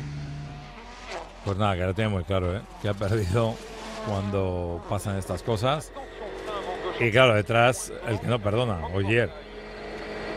Otro Sebastián, que además hay un cuarto Sebastián. Hablamos siempre de los Sebastianes y se llaman Sebastián. No está Oyer, estaba Loeb, Sebastián Vettel y Sebastián Chardonnay, un piloto francés que corre también en una categoría más pequeñita, un Citroën en función delantera y creo que en la categoría del en WRC3 en esto me parece que ha ganado como seis rallies este año. O sea, que, poca broma con este. A ver, ya sabéis, si tenéis un hijo, llamarle Sebastián si queréis que corran rallies. Está empujando. Mira qué cara de relajado. Tenemos que apretar, sí. Dice que no es fácil las condiciones, No, que sí. resbala mucho. Your way of driving has to be different. Uh, you have to use different Es lines. que buscar otras líneas, conducir distinto. No es fácil. It's okay. We, we did it quite well. Pero bueno, al final va bien, ¿no? Sí, Lo- lo contento. hecho. Estaba contento con lo No que me había hecho. extraña, pero si, si ya tenía 20 segundos a, a su compañero de equipo y a un minuto a Neville, que es el subcampeón. que le hicieron una recepción en su ciudad natal, en su bueno, ciudad pueblo, más bien ciudad en Gap, donde será la sede del Monte Carlo el año que viene, le hicieron una recepción. Aparecía sordo ya en el top 10, en el puesto número 9. Uh, apart from Dice que en the, velocidad uh, iba happen, bien. uh, from the first time through. Then I was two courses. But then Pero what is después annoying tuvo me is demasiado that cuidado. Dice que sabe, la velocidad but está ahí. I do mistakes. pero I do comete mistakes and I errores. lose two seconds there, five seconds there. Dice que pierde dos segundos aquí, cinco segundos allá. are 20 seconds behind. Yes, for sure. Uh, it's difficult to finish the season like that. Uh, we did not Dice que es muy uh, difícil really terminar have una- uh, the una result we temporada expected. así. And uh, when it's the last rally, always you are expecting to Dice que do no uh, esperábamos este resultado. weekend. It's not the case. Okay. I hope that Robert can start again tomorrow. Dice que espera que Robert pueda empezar ahí, otra vez y efectivamente pudo empezar otra vez. No así Irbonen, el golpe de Irbonen había sido demasiado fuerte para reparar el coche. Sin embargo, también se volvió a retirar después otra vez. Sí, ya lo veremos. ¿eh? Hay imágenes para dar y para vender y es terrible. ¿eh? Si, si valoramos, aquí ya vemos eh, el inicio del siguiente día, si valoramos lo que ha sido en la última carrera de Citroën, con Irbonen fuera, con Kubica también accidentado, con el error con Sordo y Sordo por atrás peleando para mejorar su puesto, ha sido un, Un rally para un olvidar. rally para olvidar para Citroën. Bueno, pues aquí estamos, ¿eh? Tramos 10, 11, 12 y 13, que estos repetían, y luego el 14, y luego 15 y 16, que repetía el 16. Que es un Mickey Mouse de estos Sí. típicos que hacíamos en nuestra época, que solían ser los tramos que hacíamos los domingos, que se corren en parques, parques por cierto preciosos, donde suele haber un castillo siempre en los parques. Recuerdo el de Margan Park, donde el famoso trata de arrancarlo por Dios, pues allí era uno de esos, bueno, ese final en concreto era en una zona así, el tramo era Sí. diferente, pero ahí el Click Castle era un tramo de estos. Si veis el coche de Andreas Mikkelsen con muchas fotitos, sí. pues esto es algo que se hizo en internet, se pidió a la gente que enviase a la página web de Volkswagen su foto y se le pondría en el coche. Y en principio le querían poner 4.000 fotos, pero luego empezaron a poner fotos y que me parece que se quedó en 2.000, una cosa así en el coche, que ya no está mal, porque no cabían más. Y creo que se acercó gente a la asistencia además preguntando, oye, ¿puedo mirar a ver dónde está mi foto? Y alguien lo consiguió ver. Bueno, cuando el coche estaba en asistencia limpito. Claro, Claro, porque ahora mismo tramos, te iba a decir, la foto es como para que te duches. Bueno, estamos viendo a Mikkelsen, como muy bien apuntabas, tenía órdenes de correr todo lo que quisiera y más. Sí, le habían pedido que fuese cuarto y sobre todo le pedían que estuviese delante porque siempre hay que, siempre hay que buscar un objetivo, no es fácil, ¿no? Muy delicado este día, por cierto, ¿eh? ya lo podéis ver, ¿eh? todo. Eh, las condiciones, el frío, la humedad, el suelo, muy, muy delicado. Muy complicado, entonces el equipo también se marcaba como objetivo, ¿no? Cuando ya está todo vendido, pues hombre, dices, tienes que buscar algo, intentar por lo menos a ver si podíamos conseguir que Yarimati Las Balas fuese segundo en el campeonato y para eso nos tenía que ayudar Andreas, ¿no? Yo creo que era en concreto, tenía que haber ganado el, rally Yarimati y creo que no podía terminar mejor que quinto dependiendo del Power Stage, había una serie de, de, de circunstancias que se tendrían que dar, pero bueno, que no se dieron al final. Pero sí le, le habían dicho que el objetivo, me dijo Jos Capito, el objetivo era que intentase terminar cuarto, al final no lo consiguió. Pero bueno, luchó por esa posición durante mucho rally. ¿eh? Novikov, tampoco hemos visto mucho de él. Y luego veremos a ver. Ya veremos por, qué. Acabó, acabó mal también una temporada que no, no fue muy allá. Hay que No, recordar ha sido que una temporada muy difícil para él, ¿eh? este año Neville empezaba en teoría como tercer piloto del equipo Ford, es decir, los equipos nominados eran al principio Mats Osberg y Novikov. Novikov, y sin embargo, vamos, les pasó la mano por la cara en prácticamente todos los rallies. Mira aquí, mira esta imagen y cómo entra Neville al límite. Y ahí lo saca, ¿eh? Ahí lo saca. Has visto que le ha dado gas, no le ha terminado de arrancar, pero bueno, ahí lo ha sacado, ¿eh? Lo salvó milagrosamente. Sí, sí, sí. Brillante, ¿no?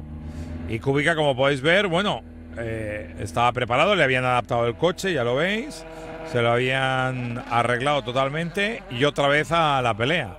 Que recordemos es el único piloto al que se le permite, esto los demás equipos se lo permiten, de momento hacen la vista gorda, dejan hacer, que puede llevar el cambio en el volante.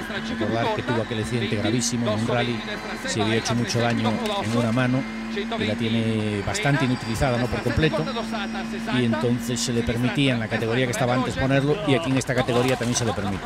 Ahí Y vemos la salida. La salida otra vez.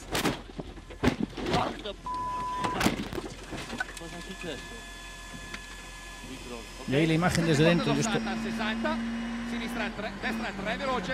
No, no, no. Ahí se oye al copiloto decir Equivocarse. sinistra, destra, se equivoca distra. Yo creo que hablaba de la siguiente curva, pero de todas formas, cuando un piloto va concentrado, cualquier distracción, una frenada, pues te puede llevar a cometer un error. ¿no? De todas formas, Kubica, cuando le preguntaron, no dijo nada acerca del copiloto. No, No dijo. Pues claramente ahí el copiloto también tuvo alguna cosa que ver. Y ahora vamos con Novikov, zona rápida, ¿eh? Y ahí va. Y ahí va. Entra largo. Y ahí va Novikov y ahí va, ahí va, nunca mejor dicho. Al bosque. Tremendo, ¿eh? Tremendo. Fijaros ahí qué pasado venía, ¿eh? Sí, sí, venía. Entraba, vamos. Se la comió. Salió suerte que ya lo hemos comentado muchas veces, ¿no? Que no hay impactos fuertes, ¿no? Porque lo peor que puedes hacer es si te das un golpe contra un árbol fuerte, esa deceleración brutal es lo que puede llegar a hacer daño al, al copiloto, al copiloto, ¿no? Y afortunadamente no es así. ¿no? De todas formas, viendo el, el- el- el accidente antes de, de Irbonen, la verdad, que si hay algo positivo en ese accidente es el ver después de un accidente tan exagerado, tan brutal, tan tremendo, que No no, les pasa pasa nada, nada, ¿no? sí. Eso demuestra que estos coches están Han mejorado muchísimo en seguridad, es algo que se ha ido comentando muchísimo. durante todo este año. Bueno, ahí veíamos a la bala que seguía peleando con Oyer arriba, lo que pasa es que Oyer iba a un ritmo distinto al de este hombre. I don't have the feeling. Dice que no tiene, no tiene I'm, feeling. I'm sorry to say. What Lo else I can say? I don't have the feeling for the driving, and it, it- then it doesn't happen. Dice que no tiene el feeling y que nada, no puede pasar. Y que no, y que no hay manera. Y además es que el feeling, claro, les exige tanto Oyer. Claro. Porque si Oyer no estuviese, pues probablemente a lo mejor dijese, pues sí voy a gusto. Pero cuando tienes que ir un poco más porque él te lo pide, porque el que vemos en las imágenes te, los- te lo pide, es un piloto tremendamente fuerte. Oyer está en una forma brutal ahora. Pues que mira cómo van las zonas rápidas. Es que es. Y además va. Mira, si fuera Novikov te diría, uy, a final de recta va para afuera. En cambio, ya verás cómo va a entrar Oyer y cómo va a sortear esa curva. No, además va, es muy fino conduciendo, lo lleva muy bien. La verdad que es eh, cuando los ves desde fuera. Mi- Mira esta chicane. 141 pont, 200 mètres derrière. Gauche 150. Si esto quiero recordar que era un tramo que habíamos hecho nosotros, que entonces no había chicán, y vemos la, la imagen del coche de Kubica por segunda vez como quedó. Y esta vez ya fue el abandono definitivo. Yeah, we had a big roll. Uh, Tuvimos un gran vuelco. practically, we just uh, have a misunderstanding in the page notes. Dice que tuvieron un uh, malentendido yeah, con las notas. The place where I should be braking, I was still flat, and Dice que donde tendría have, que estar frenando ya seguía a fondo. And we, we, we just uh, end up twice in the ditch. Okay, do you think we'll be able to see you tomorrow as well? No, I don't think so. Le preguntan si podrían verlo al día siguiente y dijo, dice que no, lo creo. No creo porque ya llevo dos y ya eso es una señal. Así van los eh, top 5. Oyer, Latvala, Neville, Mikkelsen, Osberg. 26 segundos, son 6 segundos más que había perdido Latvala en relación a Oyer. Y por detrás, ahí está Dani Sordo ya en séptimo lugar, a más de 7 minutos, insisto, eh, recordaros eh, que le habían penalizado antes de arrancar con 5 minutos, no a él, sino al equipo por un error en el chasis. O sea que es absolutamente increíble. Un error gordo. ¿no? Lo que decías tú, Ponsetti, antes, ¿no? que si Citroën en los accidentes ya le iban mal, y aún encima esto, es que fue una manera de terminar una temporada que ya no era buena para ellos, pero la terminaron de una forma malísima. Y vemos a Mikkelsen, que también tuvo una salida que comentaba, dice Luis, me metí una salida en sexta, que dice que me vino Dios a ver. Ahí veíamos que llevaba trompos el último día. tocado un poco atrás y estamos con tiempo parciales. Vamos a ver qué tiempo hace en este parcial Mikkelsen. Y ahí. Y mientras vemos estos tiempos, dejaros contaros una cosa curiosa de esta carrera, de un piloto, en concreto una mujer, que es la primera persona que conozco en la historia de los rallies que corre en rallies antes de nacer. Porque su madre, Coral Taylor, era copiloto y cuando corríamos en Toyota nosotros, en el equipo Toyota a principios de los 90, le invitaron a Neil Bates, su piloto, a correr un rally en Australia. Y cuando llegué entrenamos juntos y me dice Coral, Luis, estoy embarazada. entrenó el rally embarazada y lo corrió embarazada, de, de Molly Taylor, una piloto que además terminó, me parece, llegó a estar 20 en la general o algo así, una piloto que lo hace bastante bien, además una chica bastante mona. Y es, es curioso eso, ¿no? Que yo creo que ya lo llevan, no, no es que no lleven la sangre, es que antes de nacer ya estaba en un coche subida, en la barriguita de su mamá. Esta imagen espectacular. Y aquí sí, sí que se ven todas las fotografías en todo el frontal. ¿No van a ser la tuya, Ponce? ¿No la tienes No, por ahí, no? no, una de las 2000 no es la mía. Pero me parece, Podrías decir que sí, pero nada, a ver quién la Claro, encuentra. me parece graciosísima la, la iniciativa y muy, y muy positiva, hombre. Es una manera de, coger- de correr en un coche de rallies. Venga, la referencia ahora con de Mikkelsen con Osberg. Estamos mirando por detrás para ver cómo van los que no están peleando con Oyer y con Latvala arriba. Claro es que deslizadas pegan los coches, ¿eh? porque además, claro, decía antes que los neumáticos no se pueden cortar. Y entonces es que donde hay barrillo, claro, no tiene tanto mucho grip. más difícil, sí. Muy complicado, muy complicado. Es un neumático blando. Habían para este rally en concreto tenían solo 24 neumáticos para todo el rally. No 24 y 16 duros, pero puedes utilizar un máximo de 24. Al final utilizaron solo los blandos, pero insisto, máximo 24, no tienes más. Este era, de lo- este era otro de los rallies. Recuerdo que Carlos volvía un poco locos ¿eh? a los de los neumáticos, les hacía cortar por todos lados. Sí. Pero era un rally que siempre, la verdad, se nos daba, se le daba muy bien a Carlos. ¿eh? Sí. Siempre un rally que hicimos bien, bueno, tuvimos grandes, buenos resultados, situaciones muy dramáticas. Pero bueno, aquí hemos ganado el, rally, lo ganamos en el, en el 90, lo ganamos en el 92 también. Ya habíamos visto que el mejor tiempo era de Mikkelsen en ese parcial y ahora le vamos a poner contra, en vez de contra un Ford, contra el líder, contra Oyer, a ver qué tal. Compañero contra compañero, a ver cómo son los parciales para ver un poco cómo van todos. sur ciel face, 60 mètres, gauche 145 pour gauche 120 plus plus. Kio pour 80 mètres, gauche 140 millions, un fond corps de relance. 400 mètres. ¿Tú crees que Oyer va a poder con Mikkelsen o no? Eh, en este trocito, es que En unas trocito, claro, no, hombre. En el rally ni te pregunto, pero en ese trocito. Eh, ¿llega bueno, o no hubo llega? un día que sí pudo, ¿eh? Hubo un día ¿Sí? que le fue ganando, hizo dos scratch. Eh, Mikkelsen lo había hecho francamente bien. ¡Ay! Fíjate, fíjate, fíjate. Una décima Fíjate, nada una décima, ¿eh? Qué bien lo ha hecho Mikkelsen, sin duda alguna. Y bueno, ahí, ahí vemos los tiempos y las imágenes. Tremendas. Mira, ¿eh? mira ayer cómo va por dentro y cómo a- le aguanta más el coche que a Mikkelsen lo hemos visto un poco más abierto. Es espectacular, ¿no? Este, este señor conduce con un don de esos que le ves a los top, ¿eh? A los Sí, grandes pilotos, sí. ¿eh? que ves perfectamente cómo entran en una curva y no entra nadie más como él. Les escuchamos. It's not time to back up because I think he's still pushing now. And, Dice que uh, no puedo levantar like you see, porque- we are doing almost the same time on this one. So Que cree que todavía sigue had a good empujando. run, a good stage. Y que va a ser un buen tramo. por lo tanto no podía. Pues ahí está. Mikkelsen a una décima, dos Osberg, ¿eh? que tampoco En este había split day. en este split, ¿eh? en el split del, del 12. La referencia esa que hemos tomado. Y así va la general. Oyer primero, había reducido un poquito la bala, que estaba a menos de 26. Neville a 1.11, a 1.35 Mikkelsen, a 1.44 Osberg. Y ahí había un poquito más de guerrilla, ¿no? sobre todo entre Mikkelsen y Osberg. Mikkelsen hubo un momento que parecía que incluso se podía acercar a Neville, pero al final no solo no se acercó a Neville, sino que le pasó a Osberg. ¿no? Vamos a este tramo de casi 22 kilómetros. Y vamos con Dani Sordo, venga. Izquierda 8 a fondo, 20 frenar, izquierda 5 muy lenta, 5 muy lenta, la hemos bajado antes. 10, La hemos bajado antes, ¿ves? Esto debe de ser que antes. Mire, y aún así se fueron largos, ¿no? Se lo recuerda porque probablemente antes Dan le haya dicho hay una, nota menos, ¿no?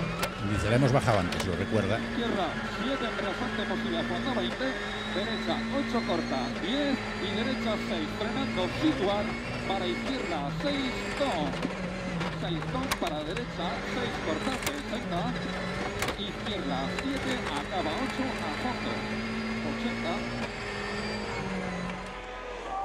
Pues ahí veíamos la referencia de Dani Sordo con Carlos del Barrio.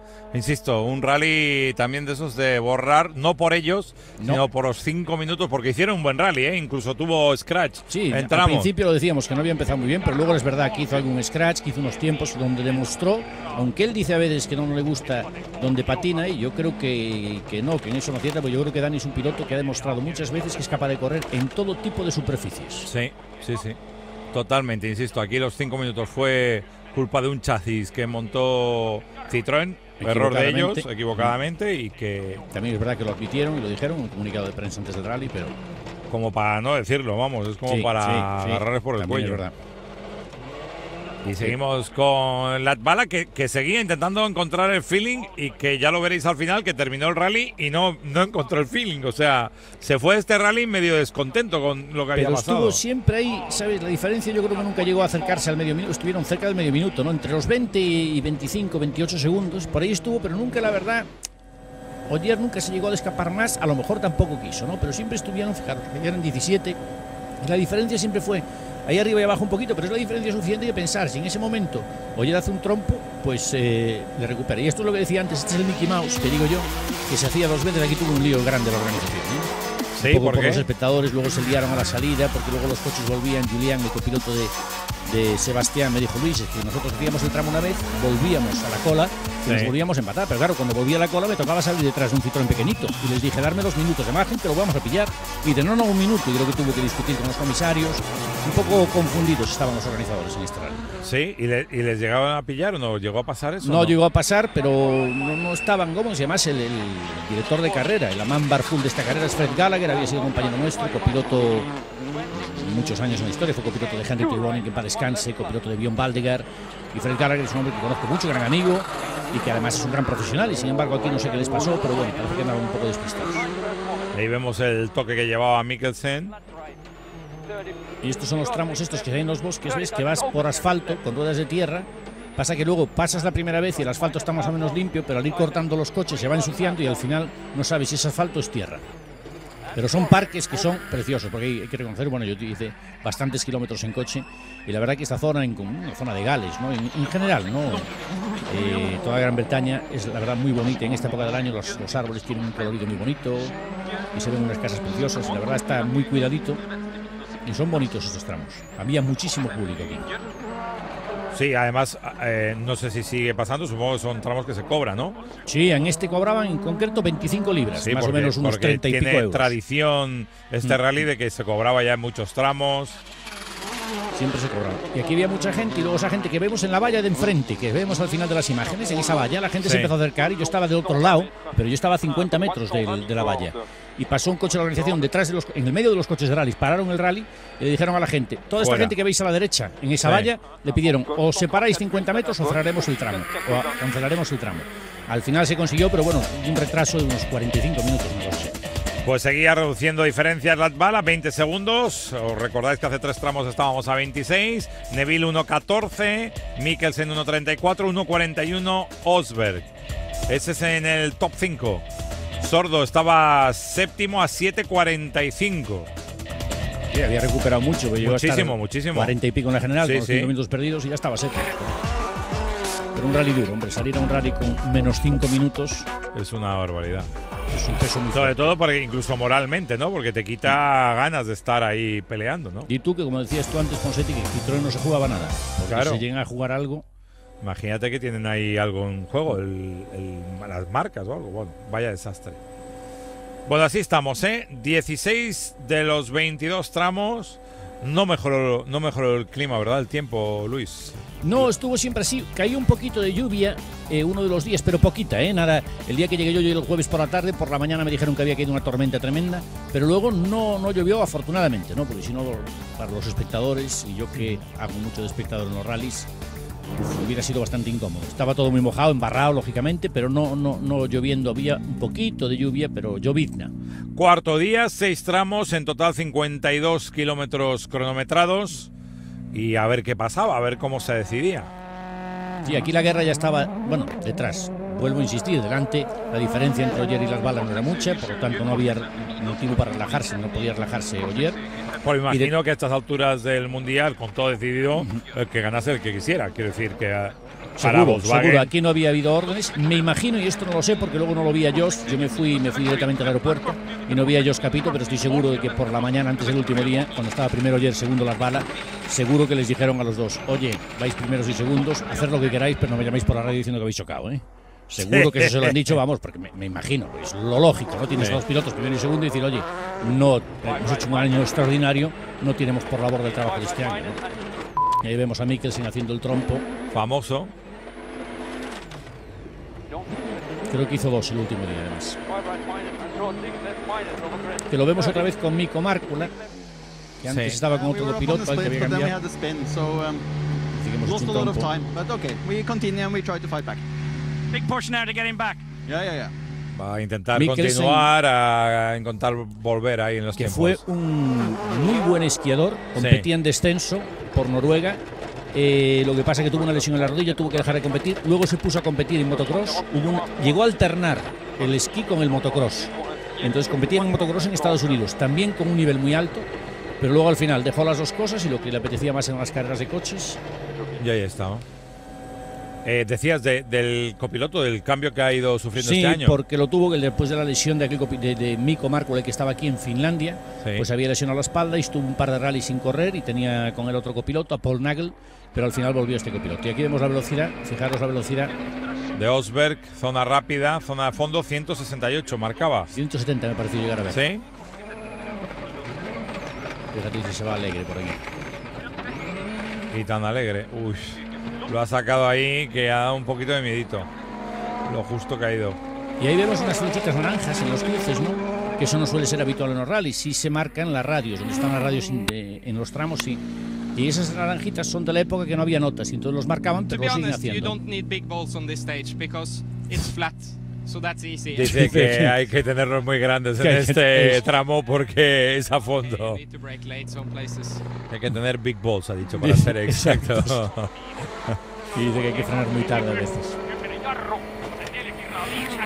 Pues ahí va otro con Big Balls también. Eh, Latvala, que. Uf. Es que claro, es que este rally es, es ese rally, ¿no? El de los Suis. eh, ay, ay, ay, Uf. ay, ay, ay, uf. Y hemos salvado aquí también, ¿no? Esto factura con, con IVA, decía Carlos a veces. ¿no? Esto pasa factura hasta con IVA. Sí, sí. Y aquí vemos a Neville. Llevas todo el rato esquiando, como veis. Claro, no hay mucho grip, pero claro, hay que ir deprisa. Y cuando vas en sexta así, mira que tranquilo se ve también cuando Sí, conduce sí. a, a Thierry, ¿verdad? Vamos, parece que está en casa delante de la Ahí, Play. ahí un poco menos tranquilo porque aquí se le ha ido. Ay, ay, ay, ay, ay. Uy, le salvó la campana. Sí, sí, sí, es otro de los UF. Pero si se le iban jugando, estaban estos tres, Neville, Mikkelsen y Osberg, iban todo el rally. Ahí va, y ahí que la libro, la libro, la libro, la libré. Uy, ahí, ah, ahí por primera vez le hemos visto un cambio de expresión importante a Así, Neville y ahora. conduciendo es como dice Sí. Malcolm Dell, que dice que es un auténtico caballero, ¿no? que, es un, que da gusto trabajar con él. Y hasta conduciendo se le ve, ¿no? Un hombre. Bueno, ahí pues- veíamos las diferencias, fijaros entre Osberg y Mikkelsen. Que no hay 1,9 nada. segundos. Neville iba más tranquilo a 1.19 y había reducido un poquito más la bala en relación a ayer. Estaba ya por debajo de los 20. Pero muy lejos todavía, ¿eh? muy lejos. Cantidad de porquería que recoges en este rally. Pero bueno, también tenemos a los chicos de World Rally Car 2. Que tampoco van despacio. Que no van despacio, te iba a decir, ¿eh? Fíjate. Y aquí donde tenemos a Elfin Evans, este aquí lo vemos en las imágenes, que este es el hijo de Windaf Evans, ya lo comentamos más veces, Sí. compañero de equipo nuestro en el año 96 en un par de carreras. Y que este chico da buenas sensaciones también. Ya veremos el futuro, pero a, a priori da buenas sensaciones. Promete, y nos estaba hablando con el padre al final del rally con Windaf y bueno, no me decía nada el padre, pero no sé cómo quise entender, y este es Mark Higgins, el que os decía que Sí, corría en nuestra época. compañero. Y no sé, como que me da la sensación de que hay alguna posibilidad de que haga algo con Ford, el Finn Evans. Pues vamos a ver. Ahí vemos, primero iba precisamente Evans, que Tomás Higgins es el top 3 en World Rally Car 2. Y volvemos a los tramos Y este de es este el- Rally Inglaterra, el 19. Power Stage. Además, este cloqueino, que este tramo, esto lo hicimos nosotros, yo creo que lo hicimos hasta en secreto, en el año 88-89, luego se hizo con otros, un tramo clásico, cuando se corría más al sur, no se hacía tanto en estos últimos años, pero sí los hemos hecho muchas veces. O sea, y era el Power tramo- Stage, que es un tramo que daba 3, 2 y un punto. Y que conocías bien, por lo que me dices. Y, y además es una, se ha dado una circunstancia y es la primera vez en todo el año que no hay ningún Volkswagen entre los tres primeros en el Power Stage. Y este es el trompo este del que me habló. Mikkelsen. Le salvó la campana. Sí, totalmente, Decía, ¿eh? Se Luis, se ido entré a de- fondo y ya sé que no es a fondo. Sí. Y se fue al lado fácil, ¿eh? Porque se llega a ir a los árboles y ahí se queda. Le salió muy bien. En gauchy, 300 mètres. Ya iba Neville. Sur 120 mètres, gauche 149. Gauche flèche sur 120 mètres, gauche 149, ferme 120 cordes. Claro, la velocidad. 120 cordes. Fondo, fondo. Iba todo a fondo, ahora frenado. Sí. Pero ha frenado poquito porque tampoco era una izquierda tan pronunciada, era un poco larga y, y listo, y lo ha sacado.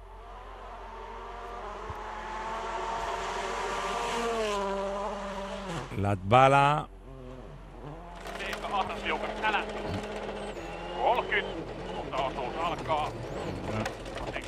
Las balas que este rally estrenaba, tiene como un preparador, digamos, no un psicólogo, pero sí un hombre que le va a acompañar a partir de, ahora y el año que viene, que acompañaba a Marcus Longholm en su día.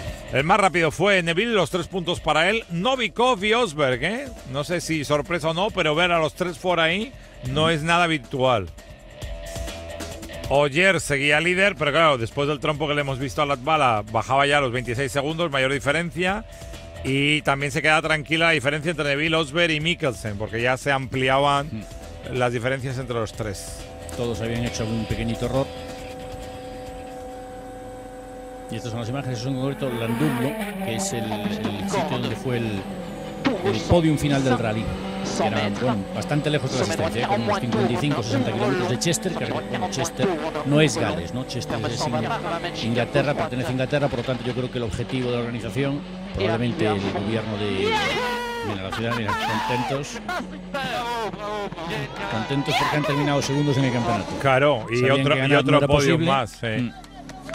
No, no, tremendo el trabajo de este chico este año.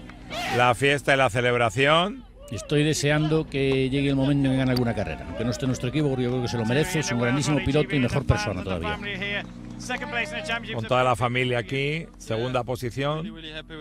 Estoy muy, Muy contento. contento. Dice que no se podía imaginar esto ni de broma al principio del. Dice que hecho un gran trabajo y que han hecho un gran trabajo los dos, Nicolás Sí, que y hemos él. trabajado mucho. Y aquí va, no sé si llamarle la bestia parda, pero ya es la bestia parda, porque otro rally más. Es la pesadilla de todos. ¿eh? Y además ha batido récords este año. Parecía que Loeb tenía muchos récords, pero bueno, ha batido récords como el de mayor puntuación en una temporada. Lo acaba de hacer él, ¿no? Mírale. La alegría quizás un pelín más comedida que otro Sí, rally, porque- porque aquí ya era simplemente ganar el rally. Pero las felicitaciones. Era un rally que nunca se le había dado muy bien. De hecho, un año con el Citroën se salió en la primera curva del rally. Know, Claro, dice que nunca puede ser una temporada mejor que esta. even uh, with Dice that que we sí. managed to win and uh, battle with our teammate which like he said feel home here so it was a Dice, yeah, una batalla con nuestro compañero de equipo como dice él, se encuentra en casa. Una temporada Perfecto. perfecto. Ganó Oyer a 21 segundos, quedó la, va a la segunda posición. Tercero Neville, podio importante y segundo en el campeonato. Mm, Osberg cuarto y Mikkelsen quinto. Deberíamos buscar a Osberg porque es un cuarto, yo creo que es un buen resultado para él esta temporada. Sordo séptimo al final, por detrás de Prokov. Y ahí estaba Evans. Por detrás de él. Capito. Con esa chica rubia, la de la derecha, la que saluda ahora, esta es Sil, que es la meteoróloga que tenemos en el equipo, una meteoróloga alemana muy profesional. Y la alegría de los componentes de Volkswagen que sí vinieron hasta ese este es punto. Willy It's, been really seen to be impossible to enter FIA World Championship and then uh, winning all the titles in the first year. So it's Es increíble, ¿no? Ganar todos los títulos en esta primera temporada, están en el campeonato como hemos estado. A lot of experience in, with the competitors. Mucha gran eh, exp- mucha experiencia entre todos los competidores. uh, Dice que es como un sueño. Y que han uh, ido rally a rally y están aquí al final de la temporada. is, is Conseguir las victorias en los últimos rallies de la temporada. Claro, Increíble, es que- algo es que es impensable. una, es una me temporada. decía a mí Ponsetti y Jos Capito, me dice, brutal. Luis, yo hubiera firmado por ganar un rally esa temporada. Porque nuestro objetivo era hacer podiums, fíjate. Así Pues que Así ha terminado, ¿eh? Oyer, Neville, Atbala y el nuestro sordo quinto. Al final muy cerquito de Irbonen, ¿eh? Tan solo tres puntos de diferencia. Motorsport, Volkswagen ha ganado el campeonato, segundo Citroën, tercero Qatar, tercero, perdón, Qatar Motorsport. Pero no, creo que no nos vamos, ¿verdad? Que la semana que viene más, ¿no? La semana que viene tenemos un resumen especial, ¿eh? Aquí os esperamos. Hasta la próxima semana.